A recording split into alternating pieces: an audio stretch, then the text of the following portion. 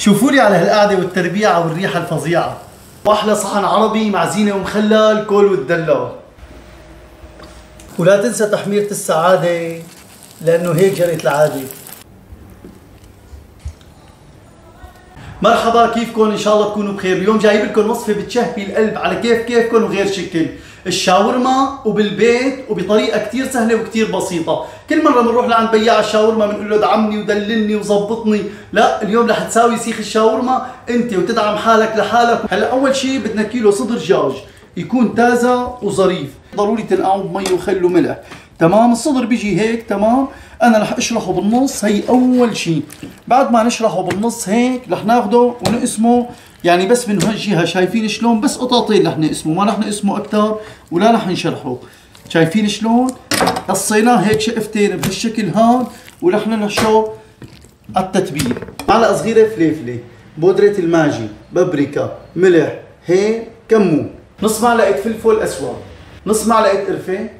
ربع معلقة جوز الطيب ربع معلقة قرنفل نص معلقة زنجبيل نص معلقة ورق غار مطحون معلقة ونص كزبرة يابسة معلقة صغيرة دبس فليفلة خمس حبات توم بدي نص بردقانة ونص ليمونة بقشره كاسة شاي زيت نباتي ولبن.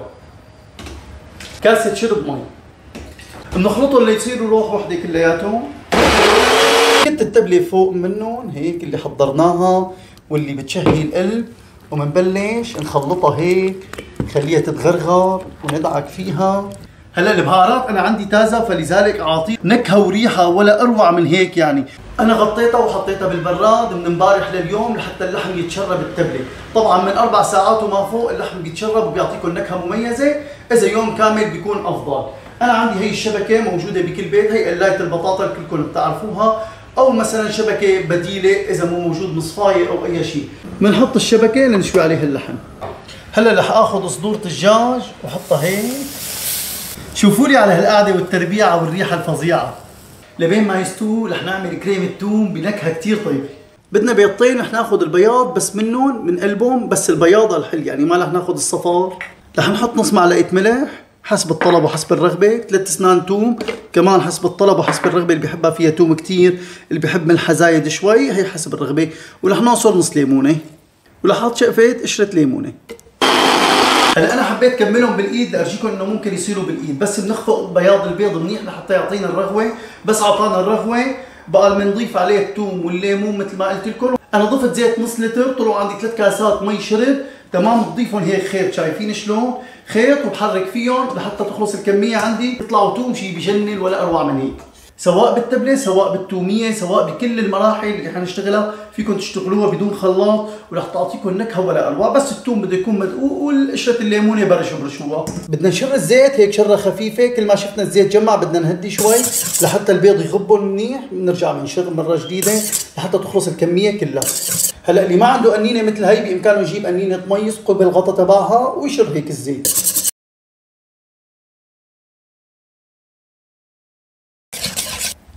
شايفين على هالقوام الكريمي اللي أعطاني إياه ما أحلاه؟ بشهي القلب شايفين شلون كريمة يعني. هلأ فيكم تسوون بالخلاط وفيكم تسوون بالخفاقه بس أنا حبيت أرجيكم هالطريقة وهي سهلة كثير شاورما يا بي وإجا السيخ لعنا. الشام تلاقيه واقف على هالسيخ الشاورما وكان مشلك هالكبجايه وعلى لطش وحدة سمنة من هون على هالسيخ ووحدة صوص السق من هون. والسقسقة شغال. على سيرة صوص السق خلينا هلأ نساويكم صوص السق. اللي حتتسقسق وتتنهنه نهنها فيها. إذا لقيتوها نشفت شوية زيت وبتدهنوها هيك. وينكم عشاق الشاورما. شرشر سيخ الشاورما اللي عنا يا غالي. شو وضع هالشوفه معها هذا الكلام اللي بيجي منه بالفحص. هلا أنا هذا استوى عندي رح قيمه وحط اللي بعده لبين ما أساوي صوص السق يا خوالي تمام؟ شوفوا شلون أنا بكمشه بالشبكة. تمام؟ هلا أنا هذا اللي حابب اوصل لكم اياه إنه الغاز لازم يكون كثير نايس. بحيث بس يعني ياخذ الحماوه تبع الغاز. النار ما لازم تدق صدر الدجاج بس الوهج والحماوه مشان يعطينا هالشكل هذا الحلو. هلا هي الشاورما مشوية شوي مثل السيخ بالضبط كنكهة وطعمة يعني بتجنن. وهي نفسها فيكم تقطعوها طرنشات تحطوها بالفرن أو تقلوها بالمقلاية بتصير نفس المقادير ونفس الوصفة وكثير طيبة بتطلع. بس هيك مستحيل يعني هيك شوي شوي يعني عم تاكلها أطيب من السيخ. على بين ما يستوي الثاني تعالوا نساوس نصاووا عبين ما يستوي الثاني تعالوا نساوي صوص الساق ونسقسقها رح نحط معلقة صغيرة دبس بندورة. رح نحط معلقة صغيرة دبس فليفلة. رح نحط سن توم واحد ورح نحط خرطه ليمون كمان. هي هي. رح نحط شرحة بردقان بس.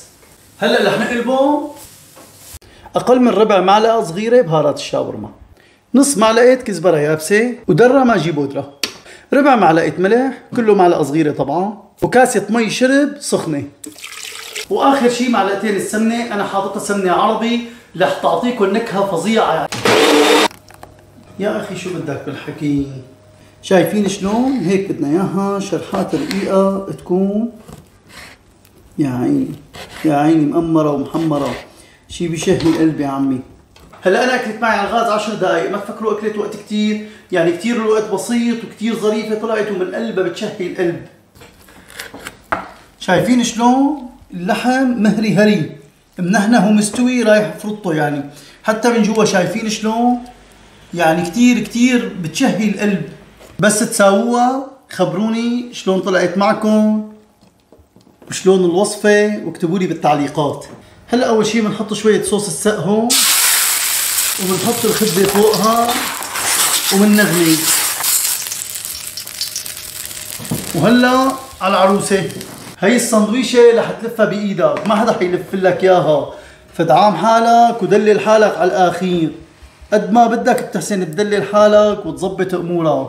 لك قد ما دعمك بياع الشاورما. مو مثل وقت تدعم حالك وتدلل حالك. بدك كرم سيد راسي. إذا خايف على كرشة نقرشها نقرشة. ولا تنسى تحميرة السعادة لأنه هيك جرت العادة.